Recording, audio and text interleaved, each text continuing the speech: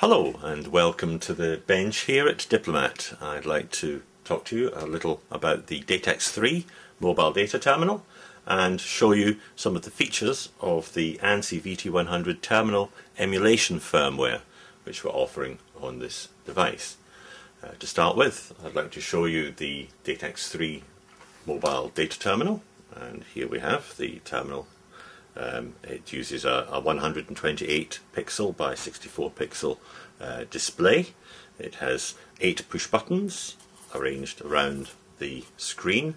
Uh, you've got up and down scroll buttons either side of the screen for left hand or right hand operation and a row of four buttons underneath the screen which can be used for um, soft functions which you can display above each of the, the buttons. Uh, it's a slim unit as you can see and it's made of uh, solid aluminium extrusion. Sockets on the back uh, are for four communications ports, four serial ports um, which communicate at various baud rates and uh, power can be applied to any of these serial ports or as we're demonstrating here using a USB adapter 5 volt adapter which plugs in the side here.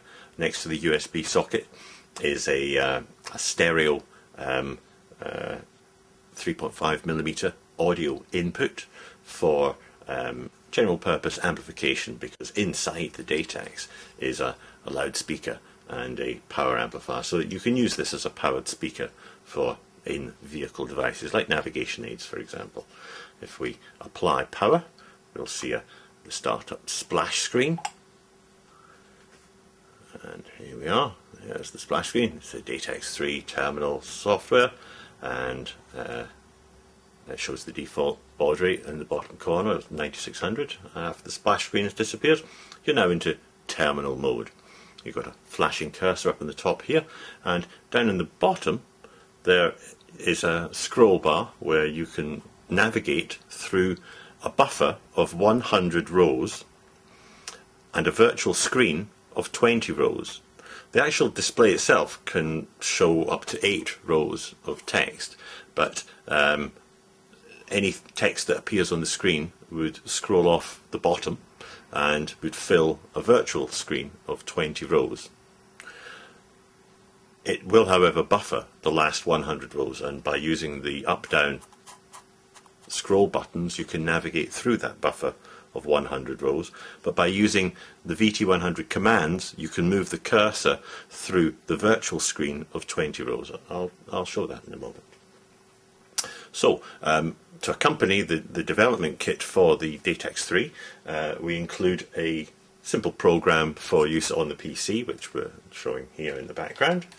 Um, the uh, software on the PC has a number of canned uh, VT100 commands which you can see in the bottom half of the screen here and these commands include common ones like reset display, uh, delete backspace, horizontal tab, line feed, etc. And down at the bottom, uh, towards the bottom, uh, we've got uh, an add string command. So here um, with that with that command uh, highlighted I've typed into this box here the words hello world and sure enough if I uh, hit the go button on the uh, on the PC we have the words hello world appear on the screen just like that so by uh, by using these commands you can demonstrate the the facilities that there are. And you can see down the bottom there's that scroll bar there. As I use the up down arrows buttons we're scrolling through a 100 row buffer. The little pixels in the corner here. A pixel at the top which is represents the hundredth row of the uh, of the buffer um, pixel just there is the 20th row and the pixel right down at the very bottom is the if you like the first row of the buffer it's the it's the row that gets written to um, by the uh, by text commands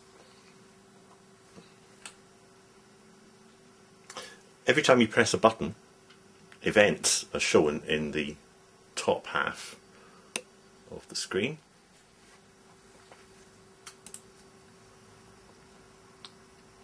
Every time I press a button here,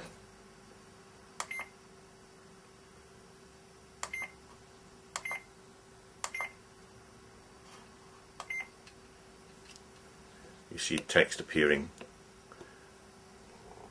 in the application.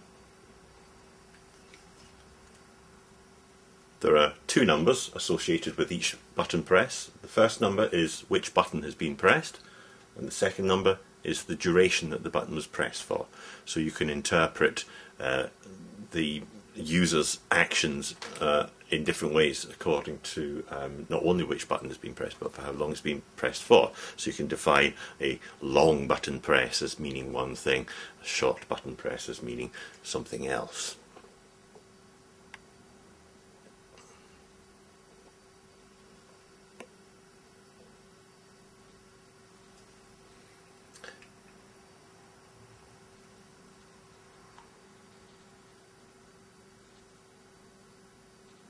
So there you have it. The Datax 3 mobile data terminal. Perfect general purpose terminal for displaying information and allowing a user to interact with that information. Available now at the Diplomat website. Or did I mention the other mounting feature on the back here? Herbert Richter. Marvellous range of mobile mounts. Here's one. Suction type mount that goes onto your windscreen.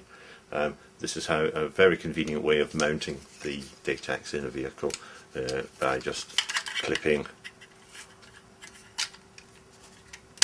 onto the back there like that so that can then stick on your windscreen. Great. Thank you very much for watching.